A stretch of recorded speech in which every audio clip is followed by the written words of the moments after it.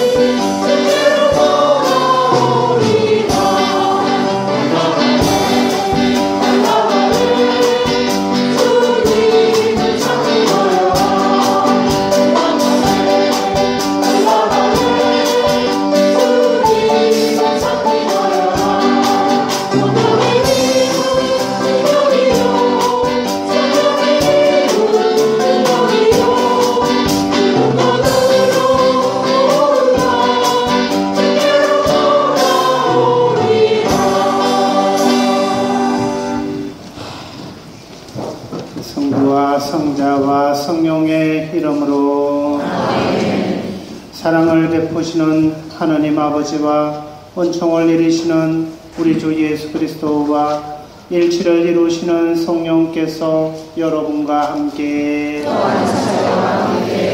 찬미 예수님 참미 예수님 주님께서 우리를 이 감사의 잔치에 불러주셨습니다. 주님의 부르심에 기쁘게 응답하면서 이 찬미의 제사를 드립시다.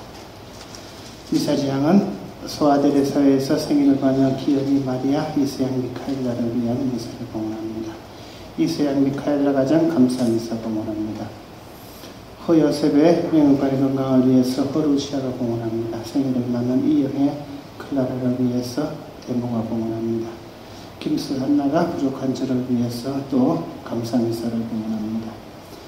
신베레사가 대녀들의 행복과 건강을 위해서 봉헌하고요. 민요셉 아클라라가 미카엘의 첫 생일을 축하하면서 봉헌합니다. 세상을 떠난 구베드로 구엘리사벳 정진천 김성진의 영혼을 위해서 요한 구비아 가정에서 봉헌합니다. 선우 유스틴의 영혼을 위해서 익명으로 봉헌합니다. 서화진의 영혼을 위해서 서글나라가 봉헌합니다. 손봉섭의 영혼을 위해서 자녀들이 봉헌합니다. 하나님의 자비와 은총을 청하면서 미사를 봉헌합시다. 구원의 신비를 합당하게 거행하기 위하여 우리 죄를 반성합시다.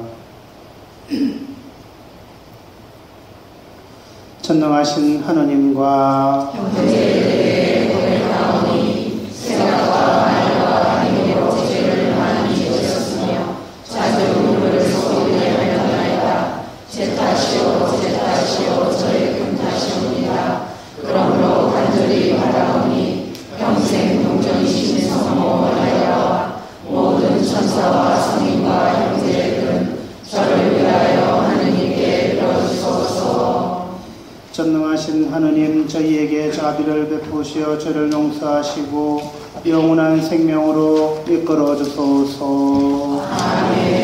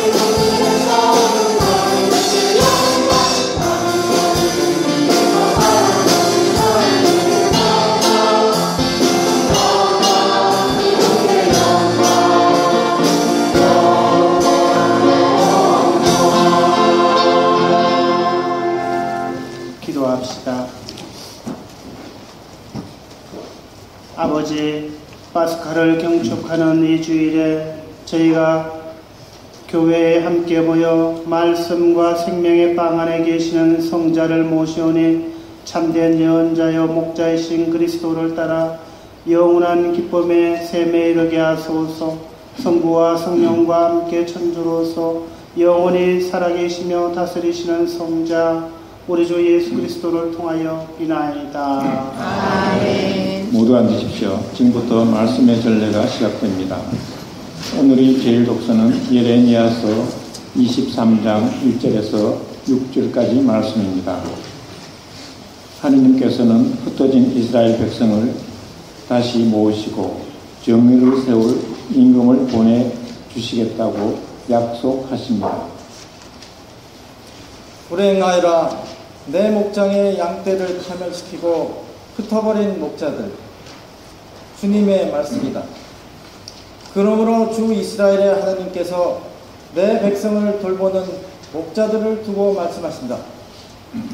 너희는 내 양떼를 흩어버리고 몰아냈으며 그들을 보살피지 않았다. 이제 내가 너희의 악한 행실을 벌하겠다. 그런 다음 나는 내가 그들을 쫓아보냈던 모든 나라에서 살아남은 양들을 다시 모아들여 그들을 그들이 살던 땅으로 데려오겠다. 그러면 그들은 출산을 많이 하여 번영할 것이다. 내가 그들을 돌봐줄 목자들을 그들에게 세워주리니 그들은 더 이상 두려워하거나 당황하지 않고 그들 가운데 잃어버린 양이 하나도 없을 것이다. 주님이 말씀하신다. 보라, 그날이 온다. 내가 다윗을 위하여 의로운 싹을 돋아나게 하리라. 그 싹은 임금이 되어 다스리고 슬기롭게 일을 처리하며 세상에서 공정과 정의를 이루리라. 그의 시대에 유다가 구원을 받고 이스라엘이 완전하게 살리라. 사람들이 그의 이름을 주님 우리의 정의라고 부르리라. 주님의 말씀입니다.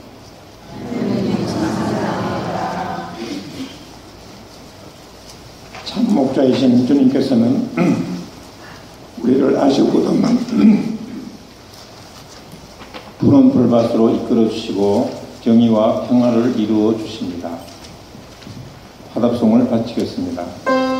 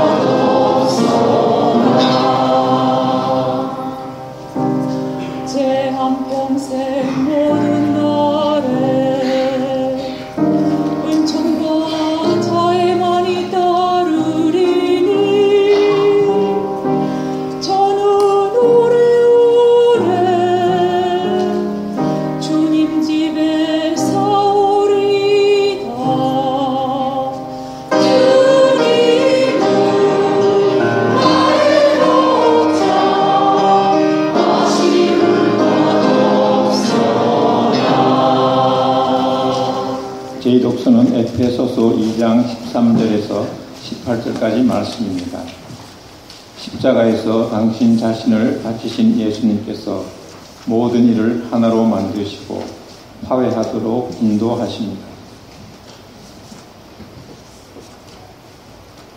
형제 여러분, 이제 한때 멀리 있던 여러분이 그리스도 예수님 안에서 그리스도의 피로 하느님과 가까워졌습니다. 그리스도는 우리의 평화이십니다. 그분께서는 당신의 몸으로 유다인과 이민족을 하나로 만드시고 이들을 가르는 장벽인 적개심을 허무셨습니다. 또 그 모든 계명과 조문과 함께 율법을 폐지하셨습니다. 그렇게 하여 당신 안에서 두 인간을 하나의 새 인간으로 창조하시어 평화를 이룩하시고 십자가를 통하여 양쪽을 한 몸 안에서 하느님과 화해시키시어 그 적개심을 당신 안에서 없애셨습니다. 이렇게 그리스도께서는 세상에 오셔 멀리 있던 여러분에게도 평화를 선포하시고 가까이 있던 이들에게도 평화를 선포하셨습니다. 그래서 그분을 통하여 우리 양쪽이 한 성령 안에서 아버지께 나아가게 되었습니다. 주님의 말씀입니다. 그리스도의 피로 우리는 회개하였고 화해하였으며 일치를 이루었습니다. 우리의 평화는 그리스도의 희생을 통해 얻게 된 귀한 선물입니다. 모두 일어나셔서 복음 환호성을 노래합시다.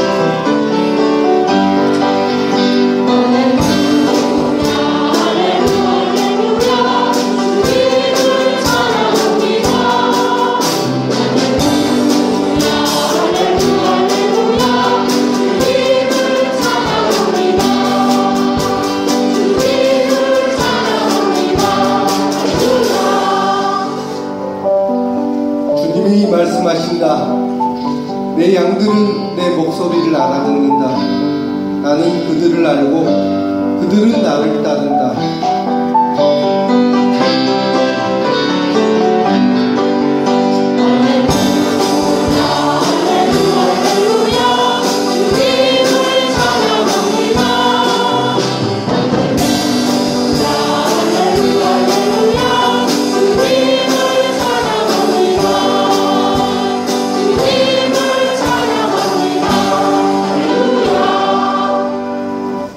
주님께서 여러분과 함께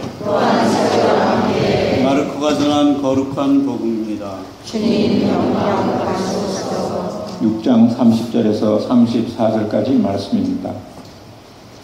그때 사도들이 예수님께 모여와 자기들이 한 일과 가르친 일을 다 보고하였다. 그러자 예수님께서 그들에게 너희는 따로 외딴 곳으로 가서 좀 쉬어라 하고 말씀하셨다. 오고 가는 사람들이 너무 많아 음식을 먹을 겨를조차 없었던 것이다. 그래서 그들은 따로 배를 타고 외딴 곳으로 떠나갔다. 그러자 많은 사람이 그들이 떠나는 것을 보고 모든 고을에서 나와 육로로 함께 달려가 그들보다 먼저 그곳에 다다랐다. 예수님께서는 배에서 내리시어 많은 군중을 보시고 가엾은 마음이 드셨다. 그들이 목자 없는 양들 같았기 때문이다. 그래서 그들에게 많은 것을 가르쳐 주기 시작하셨다. 주님의 말씀입니다.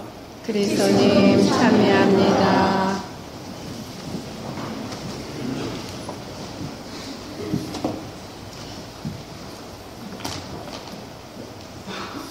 참 예수님. 한 주간 동안 잘 지내셨어요? 네. 예, 오늘도 주님께서는 우리에게 우리를 이 잔치에 불러주시고 감사하고 기쁜 마음으로 찬미의 제사를 드리도록 하십니다. 복음 말씀은 확인의 사명을 수행하고 돌아온 제자들이 활동 보고하는 내용입니다. 지난주일 복음 말씀 기억나죠? 예수님께서 사도들을 파견하시면서 길을 떠날 때 지팡이 외에는 아무것도 지니지 말아라. 빵도 여행 보따리도 전대의 돈도 가지고 가지 말아라. 복음을 선포하면서 세상 것에 한눈 팔지 말고 어, 하느님께 전적으로 의탁하여라. 어, 신앙생활 하면서 주님의 말씀에 좀 더 귀를 기울여라 라는 말씀으로 들었습니다. 이제 이 사명을 가지고 세상에 나가서 하느님의 말씀을 전하고 병자들을 고쳐주고 어, 하느님 나라를 선포한 제자들이 돌아와서 일일이 예수님께 보고 했다 그럽니다. 오늘 복음 말씀을 읽다가 저는 두 가지를 묵상했습니다. 하느님 안에서 쉰다는 것, 어, 따로 외딴 곳으로 가서 좀 쉬어라 라는 부분과 어, 또 어, 가엾은 어, 목자 없는 양과 같은 어, 군중들이 가엾은 마음이 들어서 가르쳐 주셨다라는 두 대목으로 어, 묵상해 보았습니다. 먼저 예수님께서 베어스 내리시자 많은 군중을 보시고 가엾은 마음이 드셨다. 그들이 목자 없는 양과 같았기 때문에 그들에게 많은 것을 가르쳐 주셨다. 가엾은 마음, 가엾이 여긴다. 가엾은 마음, 무엇을 표현하는 것인가? 예, 동양 철학에는 척은지심이라는 말로 표현을 해볼 수 있는 것 같아요. 맹자라는 사람이 있었는데요. 기원전 3세기에 동양 철학 중에 어, 맹자라는 사람은 성선설을 주장합니다. 사람은 태어날 때부터 선하게 태어난다. 아, 비슷한 시기에 아, 기원전 3세기에 아, 순자라는 사람은 태어나면서 사람은 자기 중심으로 살아간다. 이익을 먼저 생각한다. 우리 안에 이런 두 가지 마음이 다 있지 않습니까? 그죠? 어, 그래서 순자는 사람은 태어나면서 선하게 악하게 어, 악을 어, 악한 마음을 가지고 있는데 세상을 살아가면서 선을 향해서 수양을 하고 도를 닦아야 된다라는 것을 가르치고 맹자는 태어나면서 사람은 선하게 태어났는데 세상 분위기가 악이 있어서 악을 이렇게 섭득하게 된다. 어, 두 가지 상반된 생각을 가지고 있습니다. 맹자라는 사람은 사람 안에 네 가지 근본 마음이 있다 그럽니다. 척은지심, 사양지심, 수호지심, 어, 시비지심. 알아듣겠죠? 어, 어려운 이웃을 보면 어, 가엾이 여기는 마음을 어, 척은지심이라고 합니다. 사양지심은 겸손하게 남에게 좋은 것을 사양할 줄 아는 마음. 수호지심은 내가 잘못했을 때 부끄러워할 줄 아는 마음. 시비지심은 옳고 그름을 분별할 줄 아는 마음. 그래서 사람이 사람에게 하는 근본 도리가 이 네 가지 마음에서 출발한다. 이 네 가지 마음이 없으면 어, 사람이 근본에 닿지 못한다라는 그런 뜻이기도 합니다. 어, 이것을 닦아가는 것이 인간의 근본 도리를 잘 수행하는 그런 삶이다라고 가르쳐 주죠. 어, 오늘 예수님이 말씀하신 것도 이 적은지심, 목자 없는 양과 같은 어려움에 있는 백성들을 가련히 가엾이 여기시는 마음, 예수님의 마음이 아니겠습니까? 예수님께서 목자 없는 양과 같은 백성을 가엾이 여기셨다 그랬는데 오늘 일독서에서 똑같은 말씀이 나와요. 일독서가 예레미야 예언서의 말씀입니다. 예레미야 예언서는 기원전 587년에 이스라엘 백성들이 바빌론으로 유배 갔을 때 백성들에게 하느님 위로와 희망의 메시지를 전해준 사람이 예레미야 예언자였죠.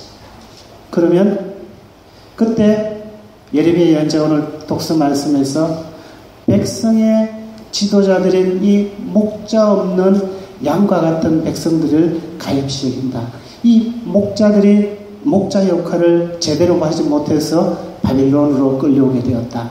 그래서 하나님께서 이제 새로운 목자를 보내주실 것이다. 새로운 메시아를 보내주실 것이다. 그래서 이스라엘 백성들은 이제 유배에서 그를 이끌어내어서 새로운 희망의 땅, 약속의 땅으로 보내주실 것이다. 백성들은 하느님께 의탁하라.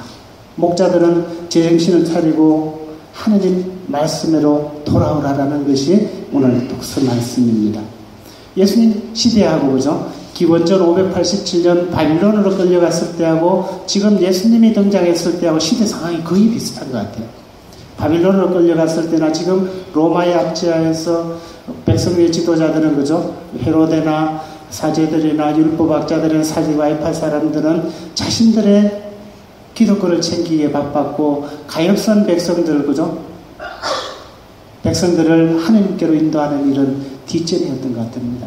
이런 상황을 보고 예수님께서는 목자 없는 양과 같은 군중을 보여주고 가엾은 마음이 드셔서 백성을 가르쳐 주셨다 이렇게 표현합니다. 그래서 예레미야 예언자가 예언한 새로운 시대에 참 목자가 오실 것이다. 그분이 메시아이시다. 바로 그분이 예수님이시다라는 것을 오늘 복음과 독서가 대비시켜 가지고 하나로 연결해냅니다. 그렇듯이 예수님께서는 참 목자이시고 참 메시아이신 그분께서는 이제 새로운 희망을 주시죠. 가엾은 백성들에게 희망을 주시고 위로의 메시지를 주십니다. 하나님께 돌아오면 예수님 하나님의 말씀을 믿고 따르면 이미 너희 가운데 하나님 나라가 없다. 마음이 가난한 사람들아 행복하다. 너희는 그들은 하늘나라가 그들이 것이다라고 가르쳐 주시지 않습니까? 예수님을 통해서 이제 가엾은 백성들이 목자 없는 양과 같은 백성들이 이제 참 목자를 만나게 되고 참 희망을 갖게 되고 하나님 나라를 차지하게 될 것이다라는 것이죠. 이제 가난한 백성들 군중들이 예수님을 통해서 새로운 희망을 찾게 됩니다. 하나님께로 갈 수 있는 길을 알게 되는 것이죠. 따라서 예수님께서 오늘 보여주시는 이 가엾, 가엾이 여기는 마음, 책임지심을 예수님을 따르는 우리도 그 길을 따라가야 한다는 그런 말씀입니다. 예수님께서는 내가 너희를 사랑한 것처럼 너희도 서로 사랑하니라. 예수님의 사랑은 바로 이 책임지심에서 기인하는 것이죠. 예수님께서 기적을 행하실 때마다 5천 명을 먹이실, 먹이실 때도 허기에 지쳐있는 군중을 보이시고 가엾은 마음이 드시어 보리밥 다섯 개와 물고기 두 마리로 5천 명을 먹이시지 않습니까? 우리 곁에 도움을 필요로 하는 이웃을 보고 우리도 예수님을 생각할 수 있을 줄 알아야 하는 것이죠. 예수님을 따라서 우리도 이웃을 사랑할 수 있는 마음이 바로 우리 안에 있는 근본 도리인 천지심을 발휘하는 것이다.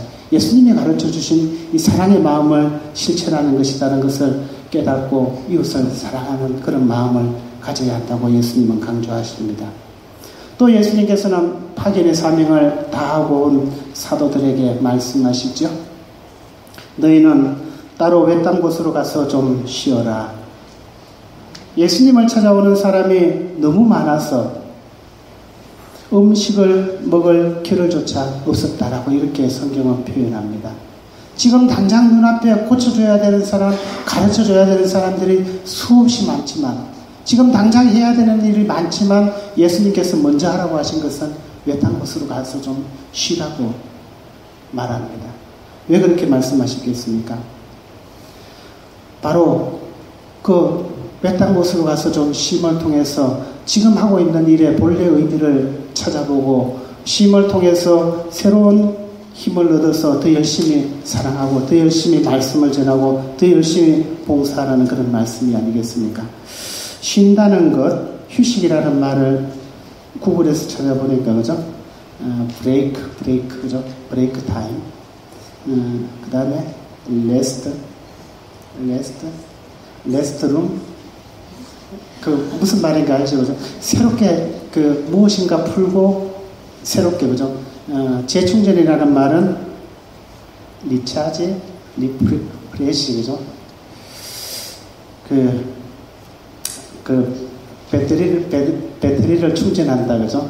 한국말로 하면 배터리라 그러고 미국에 처음 오면 배터리라 그러고 여러분들은 배터리라 그러고 그럽니다만 어떻든 그 어, 배, 배터리가 방전되었을 때 어, 리차지 한다 그죠?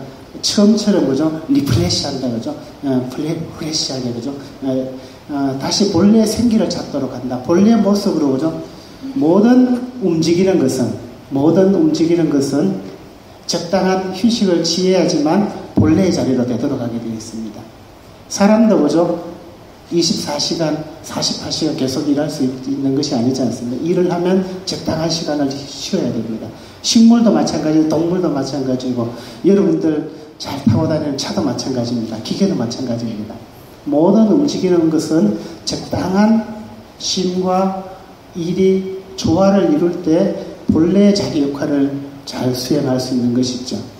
어, 쉬지 않고 일할 수 있는 것은 아무도 것도 없지 않습니까? 쉼을 통해서 원기를 회복하고 리프레시하고 그죠? 프레시하고 다시 돌아가고 새롭게 하고 원기를 반짝반짝하게 자기 모습을 취해야지만 일할 때 더 잘하고 일을 왜 해야 되는지 그 이유도 잘 알고 할 수 있는 것이죠.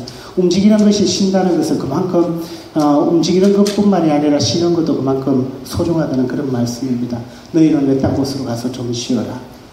모든 인간에게 이 쉼의 시간은 필요합니다. 쉼의 시간은 육체적인 그런 피로를 푸는 것 뿐만이 아니라 동시에 자기 자신을 찾는 시간이기도 하죠.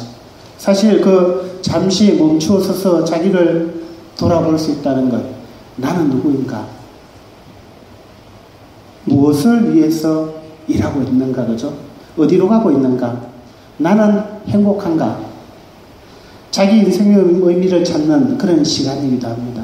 사실 우리 인생의 목적이라는 것이 행복이라는 것은 누구나 물으면 다 알고 있습니다.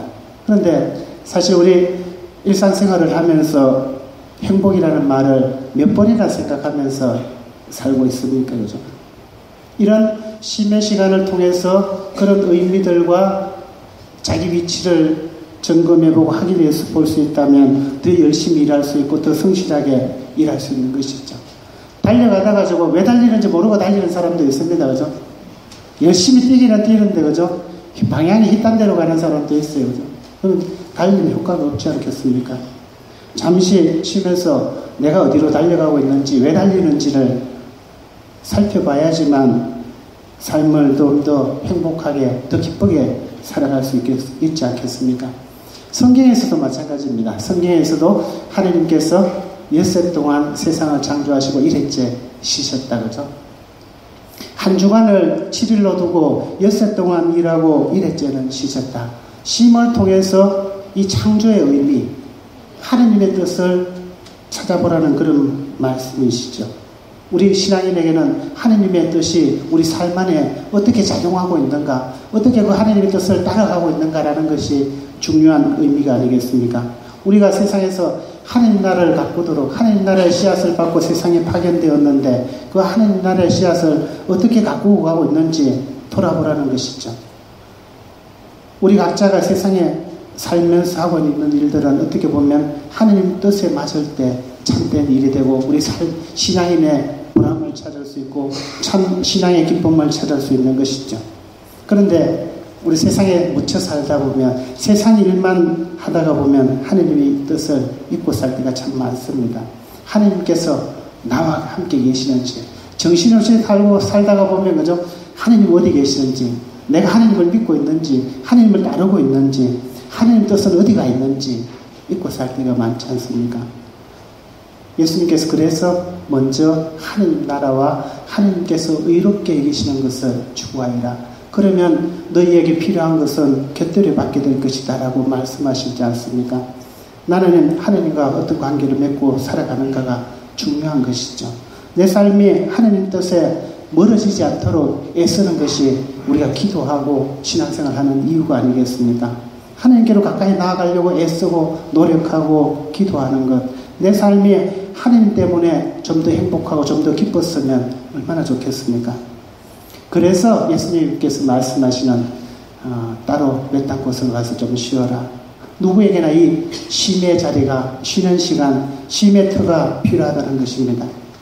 어떤 사람은 잠을 잘 때 제일 잘 쉰다 그럽니다. 어떤 사람은 TV를 보면서 쉰다 그러죠. 어떤 사람은 기타를 치면서 쉰다 그래요. 그죠? 기타 칠 때 제일 행복하다 그럽니다. 어떤 사람은 노래하면서 쉰다 그럽니다. 어떤 사람은 걸, 걸으면서 쉰대요. 그죠? 어떤 사람은 목주기도 하면서 쉰다 그럽니다. 어떤 사람은 성체조배 하면서 쉰다고 그럽니다. 각자 자기만의 그런 쉼의 자리가 필요합니다. 어떤, 어떻게 쉬는지 간에 그 쉼의 시간과 그저 그런 관계 없습니다. 어떤 사람은 4시간만 자고 충분히 쉬는 사람이 있는가 하면 10시간을 자도 아직 부족한 사람이 있습니다. 각자의 상황과 삶의 형태에 따라 다르겠지만 무엇인가 자기만의 그런 쉼의 자리, 자기만의 안정의 자리, 자기만의 자기를 돌아볼 수 있는 그런 자리가 필요한 거죠. 그래야지만 refresh 할 수 있고, 리차지 할 수 있고, rest 할 수 있는 것이죠. 그런데 우리는 이것을 하느님과 좀 연결해 보면 얼마나 좋겠습니까? 그죠? 어떤 사람은 대부분의 시간을 먹고 사는 생각만 합니다. 그죠? 먹고 사는데 시간을 보내고, 먹고 사는데 생각을 보내고, 또 집에 돌아와서도 늘 이것만 걱정하면서 살아갑니다. 잠시 먹고 사는 그런 일에서 떠나서 심의 시간, 심의 자리를 갖는 것이 필요합니다. 기타 치는 거 좋죠, 그죠? 기타 치면서 하느님 찬미할 수 있다면 얼마나 더 좋겠습니까? 노래하면서 그죠? 노래도 하고 어, 하느님도 찬미할 수 있다면 얼마나 더 좋을까? 잠시 성체 조배하면서 그죠? 난 성체 조배하면서 제일 성체 앞에 갔다 오면 마음이 편해지고 성체 앞에 갔다 오면 생기가 나고 성체 앞에 갔다 오면 무엇인가 할 의욕이 난다. 이건 나만의 심의 자리이면서 나만의 하느님과의 새로운 관계를 형성할 수 있는 그런 소중한 자리는 아니겠습니까? 어떤 사람은 주일 미사 와서 그죠? 성체 모실 때 그죠?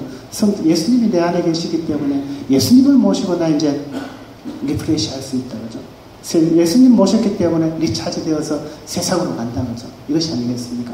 나만의 그런 신앙의 자리, 쉼의 자리가 누구에게나 꼭 필요합니다. 이것을 갖지 못하면 10여초 진자 운동하는 그런 신앙생활밖에 안 됩니다. 성당에 왔다 갔다 왔다 갔다 하면서도 하느님과 나와의 관계는 어떻게 되어 있는지 전혀 모르고 살아갑니다.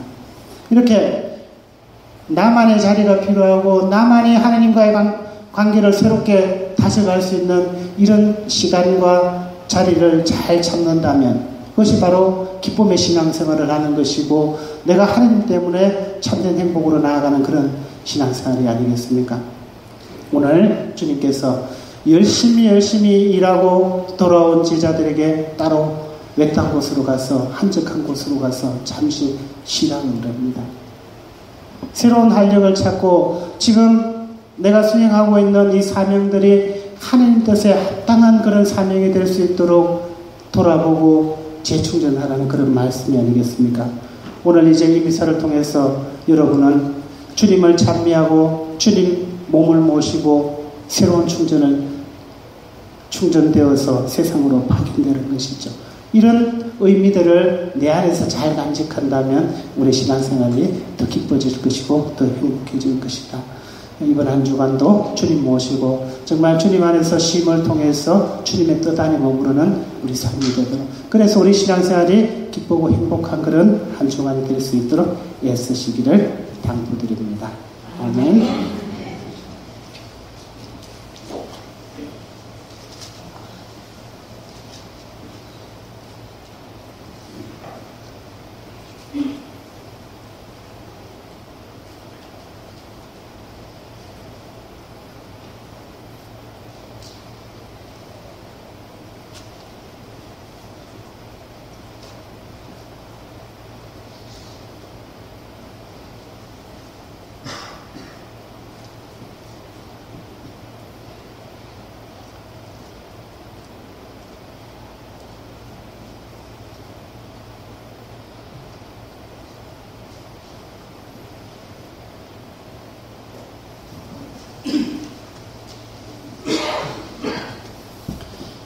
일어나셔서 신앙을 드립니다. 전능하신 천주 성부 천주의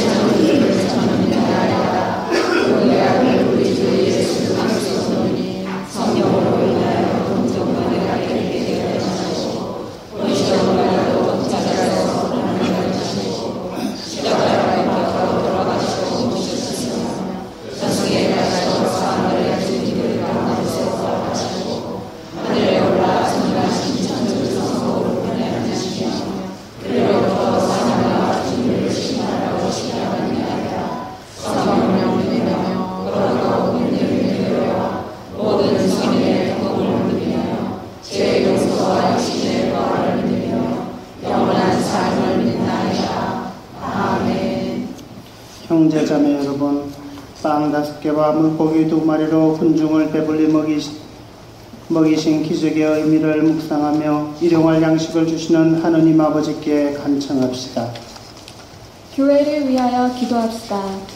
일치의 주님, 교회가 서로 아끼고 존중하는 모습을 보이며 형제적 친교를 나누는 공동체가 되게 하시어 저마다 자기 행복만 추구하는 개인주의가 널리 퍼진 현대 사회에서 일치와 친교의 모범이 되게 하소서.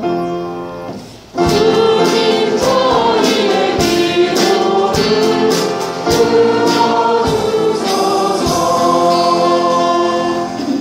세계의 지도자들을 위하여 기도합시다. 시간과 역사의 주인이신 주님, 세계의 지도자들을 굽어 살피시어 주님께서 이 세상의 주인이심을 그들이 잊지 않으며 자원이나 식량을 무기화하여 세계를 지배하려는 유혹에서 벗어나 굶주림과 목마름에 시달리는 지구촌의 가난한 나라들을 돌아보도록 이끌어 주소서.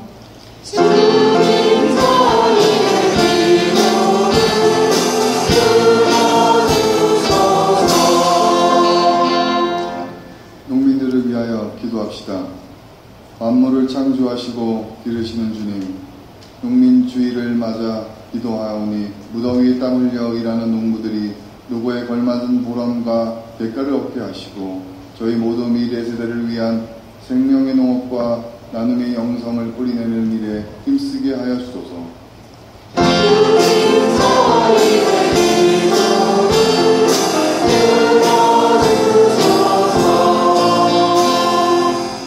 본당 공동체를 위하여 기도합시다.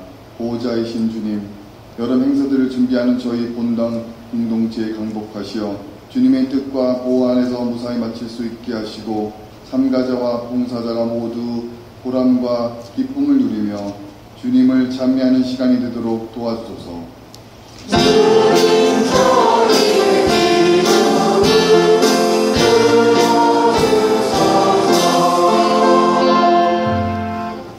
언제나 저희를 선한 길로 인도해 주시는 주님, 저희의 기도를 기꺼이 들어 허락하시고 저희들 마음속에 있는 작은 소망들도 함께 들어주소서. 우리 주 그리스도를 통하여 비나이다.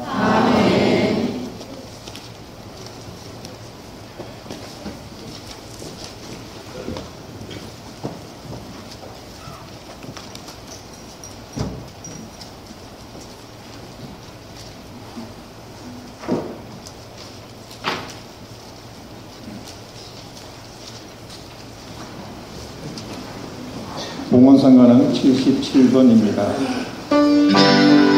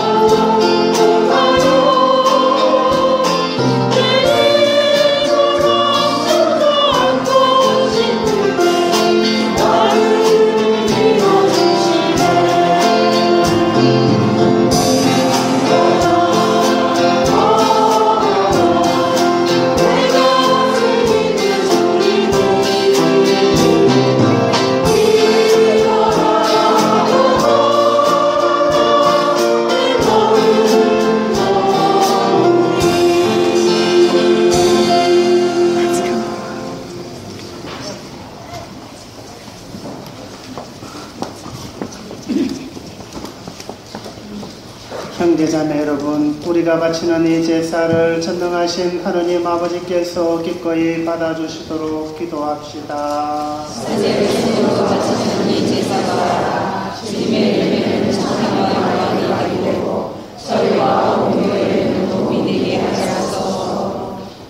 하느님, 구약의 제사를 하나의 제사로 완성하셨으니 저희가 정성껏 바치는 이 예물을 받으시고 아벨의 제물처럼 강복하시고 거룩하게 하시어 존엄하신 하느님의 영광을 위하여 봉헌하는 이 제사가 인류 구원에 도움이 되게 하소서 우리 주 그리스도를 통하여 비나이다. 주님께서 여러분과 함께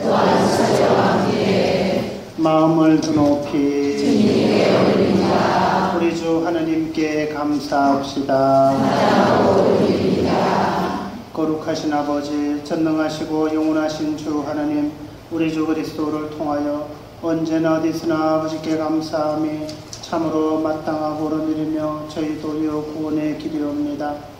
그리스도께서는 죄 많은 인류를 가엾이 여기시어 동정 마리아에게서 태어나시고 십자가의 고통을 받으시어 저희를 영원한 죽음에서 구원하셨으며 죽은 이들 가운데서 부활하시어 저희에게 영원한 생명을 주셨나이다. 그러므로 하늘의 모든 천사와 함께 저희도 땅에서 주님의 영광을 찬미하며 끝없이 노래하나이다.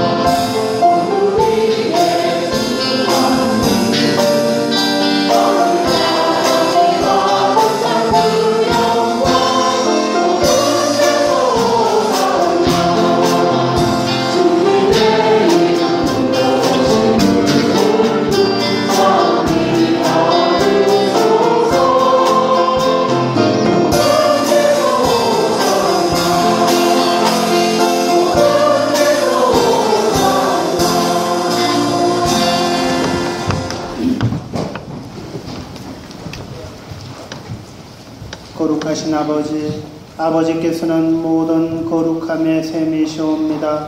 강구하오니 성령의 힘으로 이 예물을 거룩하게 하시어 우리 주 예수 그리스도의 몸과 피가 되게 하소서. 스스로 원하신 순환이 다가오자 예수께서는 빵을 들고 감사를 드리신 다음 쪼개 제자들에게 주시며 말씀하셨나이다.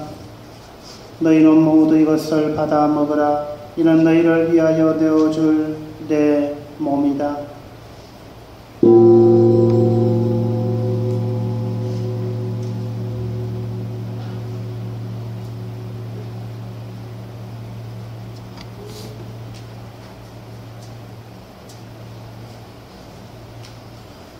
저녁을 잡수시고 같은 모양으로 잔을 들어 다시 감사를 드리신 다음 제자들에게 주시며 말씀하셨나이다.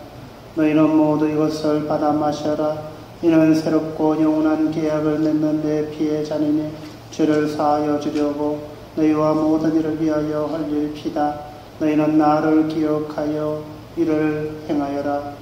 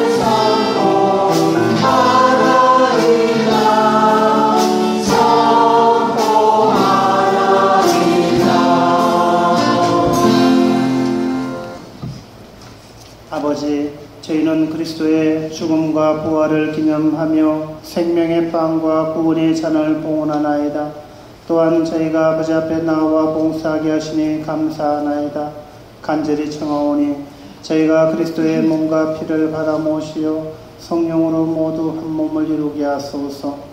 주님, 온 세상에 널리 퍼져 있는 교회를 생각하시어 교황 프란치스코와 저희 주교 소토와 코다와 모든 성직자와 당신 백성들과 더불어 사랑의 교회를 이루게 하소서.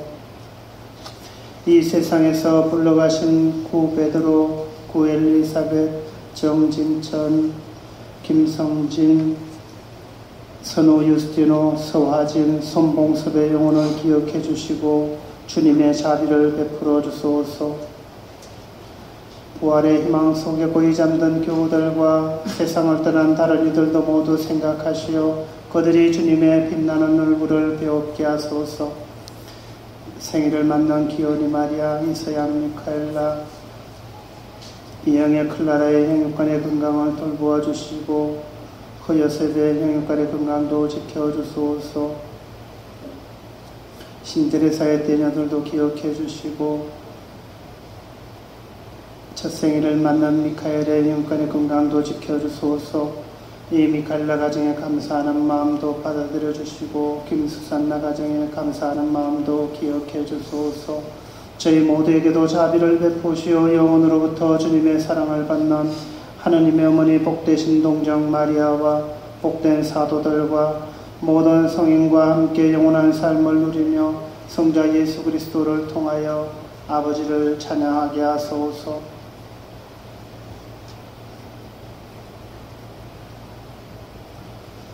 그리스도를 통하여 그리스도와 함께 그리스도 안에서 성령으로 하나 되어 전능하신 천주성부 모든 명예와 영광을 영원히 받으소서.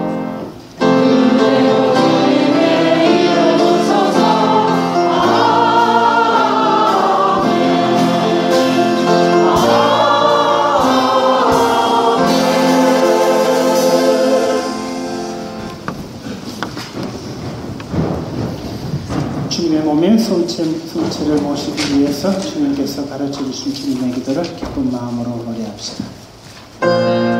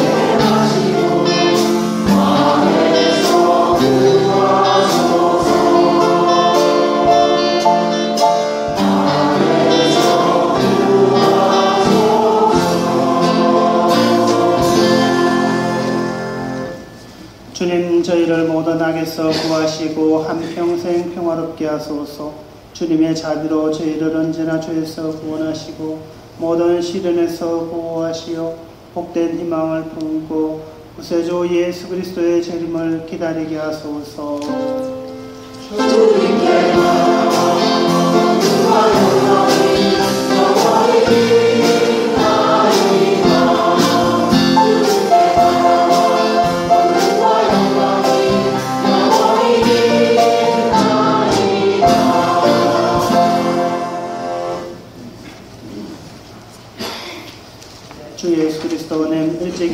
사도들에게 말씀하시기를 너희에게 평화를 두고 가며 내 평화를 주노라 하셨으니 저희 죄를 헤아리지 마시고 교회의 믿음을 보시어 주님의 뜻대로 교회를 평화롭게 하시고 하나 되게 하소서. 주님께서는 영원히 살아계시며 다스리시나이다. 주님의 평화가 항상 여러분과 함께. 또한 사제와 함께. 우리 다 같이 평화의 인사를 나눕시다. 평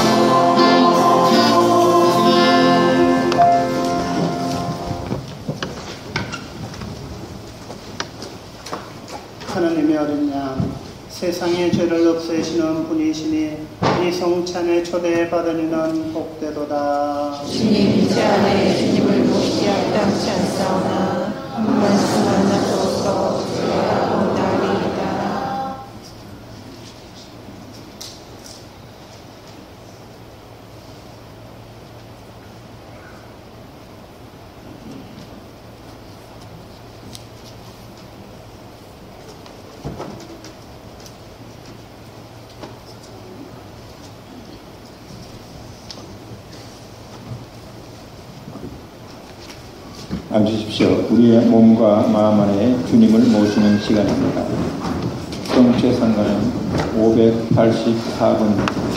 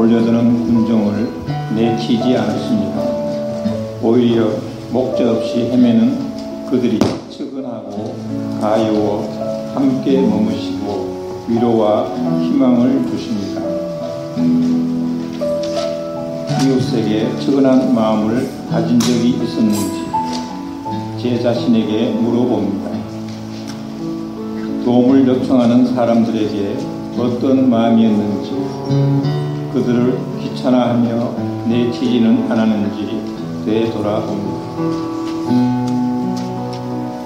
착한 목자이신 주님을 닮도록 우리 마음 안에 사랑과 배려와 자비가 넘치도록 청해 봅시다.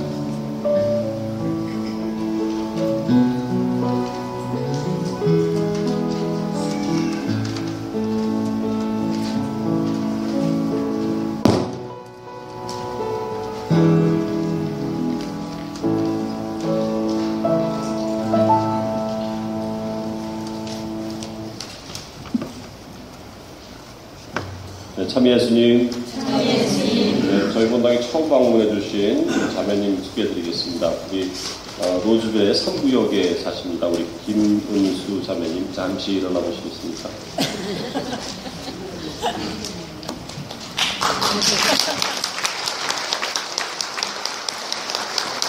그, 혹시 이 밖에 또그 처음 방문하신 분 계세요? 네, 저기 저 유아방에 또 한 우리 저분 계시고요.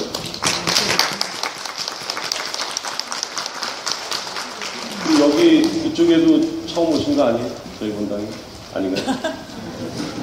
그리고 어디요?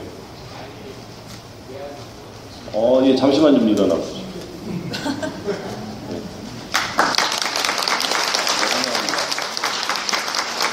그리고 저그 우리 전 전 그 부처님이신 밤에 가셨던 우리 부처님 아마 오셨던 것 같은데요. 부처님 어디 계시죠?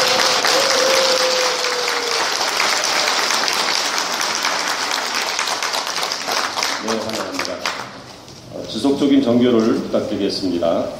어, 8월 16일 어, 미사 후에 세례 예식이 있겠습니다. 어, 화요일 교리반에 참여하고 계시는 분들을 어, 8월 16일 날 세례식 있습니다. 예비 신자 교리반이 7월 30일 목요일 날 개강됩니다. 어, 아직까지도 예비 신자가 부족한 걸로 알고 있는데요. 각 구역 그 단체별로 또 내조 단체별로 좀그 예비 신자를 좀 많이 좀 들어주면 고맙겠습니다.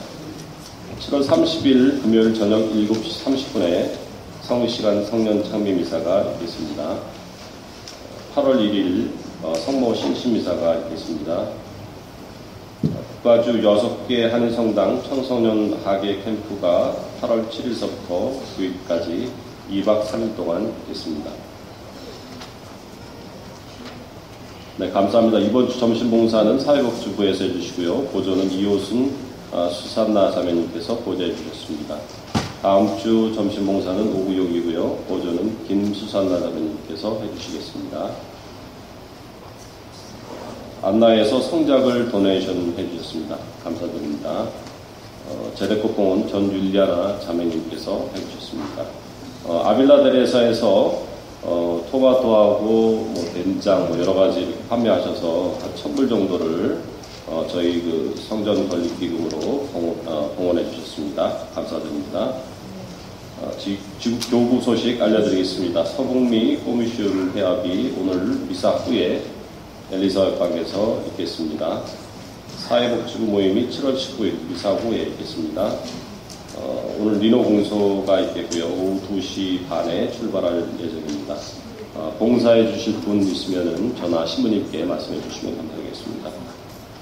26일 다음 주 사목회에게 사목회가 있겠습니다. 어, 연령의 모임이 26일 어, 있겠고요. 소아 대대사 모임이 오늘 11시 미사 후에 마테오방, 마테오방에서 있겠습니다. 네, 이상입니다. 감사합니다.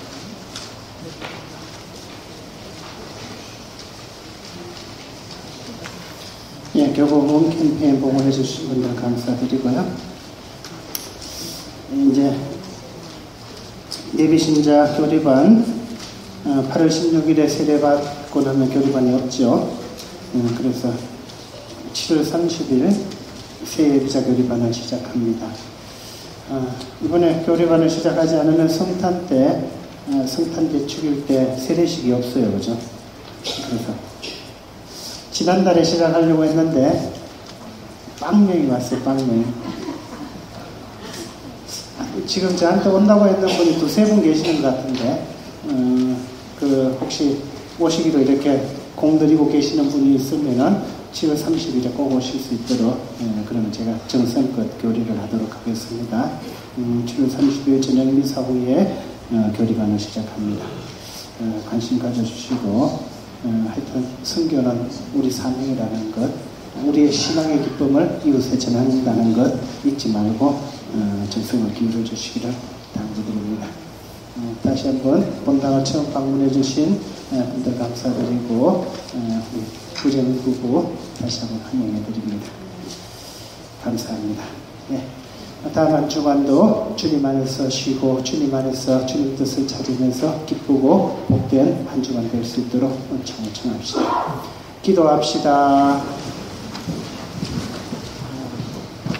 주님, 이 거룩한 신비의 은총으로 저희를 가득 채워주셨으니 자비로에 도와주시오. 저희가 옛 삶을 버리고 새 삶을 살아가게 하소서.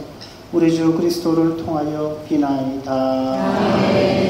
주님께서 여러분과 함께 전능하신 천주 성부와 성자와 성령께서는 우리 모두에게 강복하소서.